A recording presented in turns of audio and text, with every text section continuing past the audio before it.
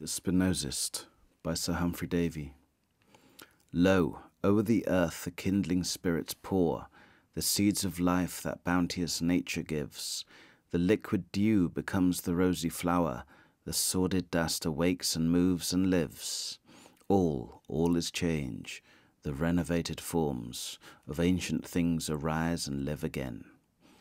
the light of suns, the angry breath of storms, the everlasting motions of the main, are but the engines of that powerful will.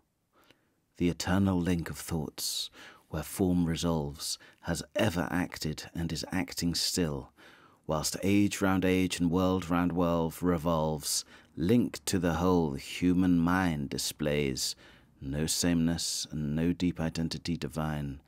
changeful as the surface of the seas, impressible as is the blue moving sky.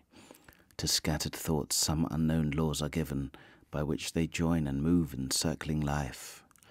Being of aggregate, the power of love gives it the joy of moments, bids it rise, in the wild forms of mortal things to move, fixed to the earth below the eternal skies.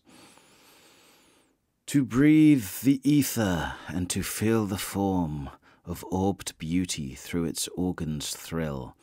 to press the limbs of life with rapture warm, and drink of transport from a living rill, to view the heavens with morning radiance bright, majestic mingling with the ocean blue, filled by a thousand silver streams and played upon by ten thousand cloudless breezes to view the forests green, the mountains white, the peopled plains of rich and varied hue, to feel the social flame to give to man ten thousand signs of burning energy, the nothingness of human words to scan, the nothingness of human things cares to fly, to live in forests mingled with the whole of nature's forms, to feel the breezes play, o'er the parched forebrow to see the planets roll,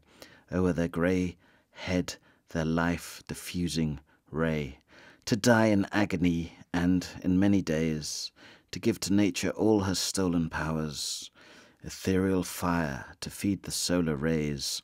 ethereal dew to feed the earth in showers.